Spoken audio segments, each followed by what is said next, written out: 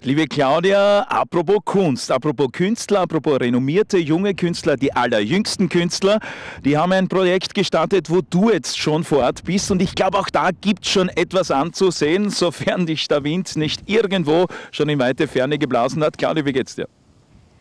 Bunte Linien auf der Straße, meine Damen und Herren, werden wir heuer live auf der Weinstraße erleben.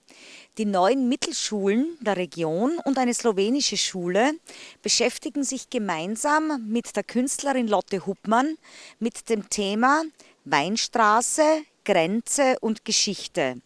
Der Höhepunkt der Aktion wird das Bemalen der Weinstraße sein. Ab Mitte Mai können Sie direkt an der Weinstraße, dort wo vor 60 Jahren die Eröffnung stattgefunden hat, mit bunten Linien auch den Mittelpunkt der Straße erkennen.